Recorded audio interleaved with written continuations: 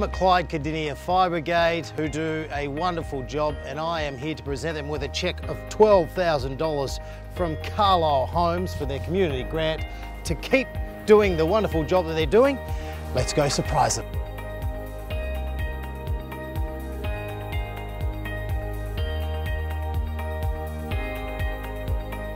We're a fully volunteer brigade. We're now part of the urban growth area and we have about 17,000 houses now building up around us, so it's amazing.